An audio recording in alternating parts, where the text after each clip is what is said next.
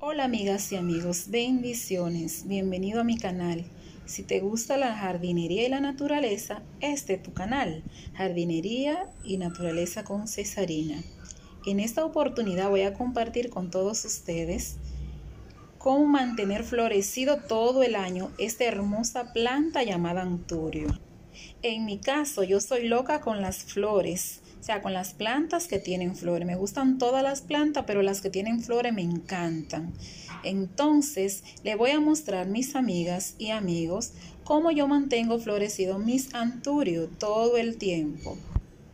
El anturio es una planta muy elegante que le da elegancia y firmeza a nuestro hogar.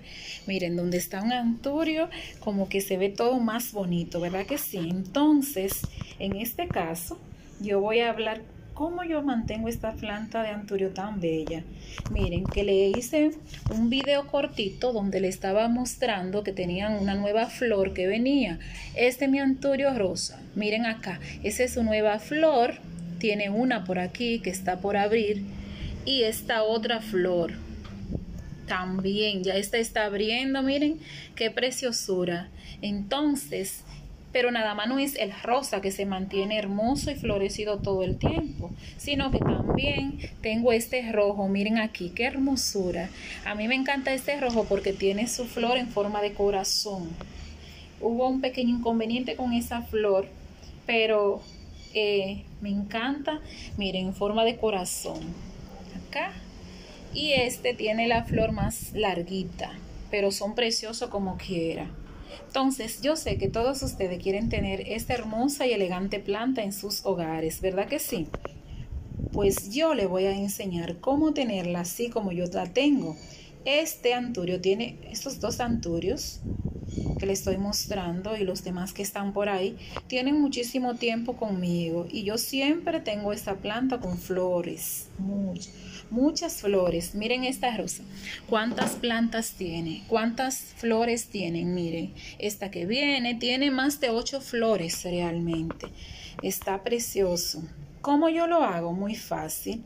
Es esencial en un anturio el sustrato donde usted lo planta. Es esencial. En mi caso yo utilizo mucho, miren este, la fibra de coco es lo que yo utilizo para mis anturios y le pongo un poquito de palito descompuesto, pero es la fibra de coco y lo mezclo con los restos de café y con los restos de café y además de eso con los restos de las plantas de las frutas que se utilizan en mi casa la pongo a secar y la utilizo algo esencial también para tener tus plantas bien eh, florecida es la ubicación. Yo la ubico acá en esta área de la galería y es bastante iluminada donde están, ¿verdad?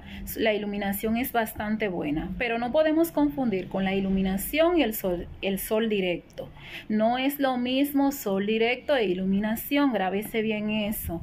Cuando yo hablo de iluminación, estoy hablando de que de manera indirecta le llegue una buena cantidad de luz de luz solar, pero no el sol directo, porque el sol directo va a quemar nuestra plantita de anturio, le va a poner sus hojas eh, amarillas y podemos perderla.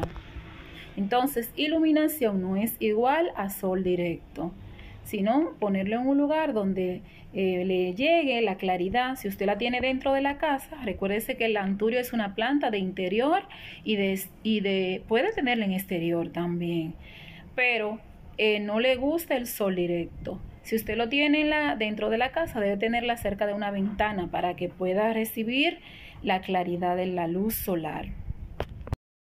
Otro factor importante para el cuidado de nuestro santuario es el riego. Es importante regar nuestra plantita de anturio. Es importante regarla. En este caso, como yo vivo en un área donde la temperatura las temperaturas son altas, yo le estoy regando eh, tres veces a la semana en esta ocasión. Estamos en pleno verano, yo le estoy regando tres veces a la semana. Pero es importante que nosotros reguemos nuestra planta. Hay momentos que yo le lo riego como lo estoy mostrando, le echo un poquito de mi agua mágica, que me encanta echársela Y en otras ocasiones agarro la manguera y le echo agua suficiente, le, le mojo las hojas y ella le encanta eso. Cuando no le estoy regando, cuando el sustrato, pero cuando voy a, regar, es importante saber que el anturio le guste el agua, pero no que se encharque, porque si no, usted corre el peligro de que se le pudran las raíces. Entonces, ¿cuándo yo voy a regar realmente? Cuando el sustrato esté seco. Entonces, depende del sustrato. Ustedes saben que para sus anturios hay diferentes tipos de sustrato. Este que de fibra de coco mantiene bastante la humedad. Entonces, yo lo observo con el dedo entro el dedito y veo si no se me moja el dedo, entonces realmente necesita que se riegue. Los demás días le voy a, le voy a mostrar qué yo hago. Cuando no la riego, la pulverizo. Le echo un poquito en sus hojitas, miren, le echo un poquito en sus hojas porque a ella le encanta estar le gusta eh, sentirse húmeda, entonces ahí tiene sus hojitas pulverizadas le encanta, me agradece cada vez que le echo esa agüita. Así que ya ustedes saben, le pulverizamos sus hojas y eso le mantiene la humedad del ambiente donde, donde vienen las plantas de anturio que vienen siempre donde hay unos árboles bastante grandes y como ellos están debajo mantienen una muy buena humedad. Aquí la humedad en el área donde yo vivo oscila entre los 80, 75, 80 más o menos. Y miren qué preciosos están mis anturios. Y es siempre que están así.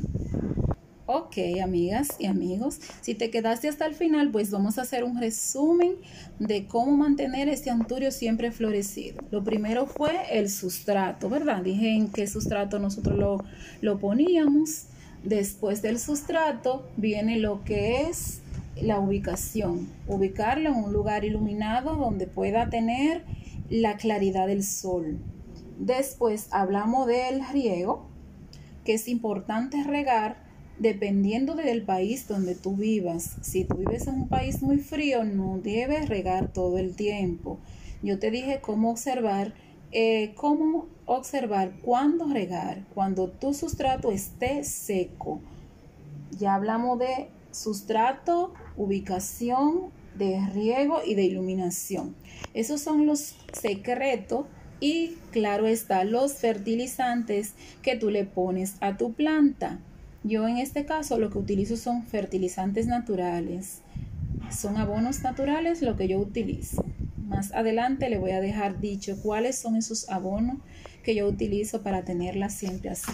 Miren que le mostré la nueva de la roja que viene y las dos de esta rosada que están abriendo. Es decir, que casi mensualmente me están dando entre dos y por lo menos una flor. Me da una y dos flores mensualmente. Si usted observa en la mata, tiene flores de todos los colores. Quiere decir que son de diferente tiempo. Así que anímense. Es fácil usted tener su santuario con flores todo el año.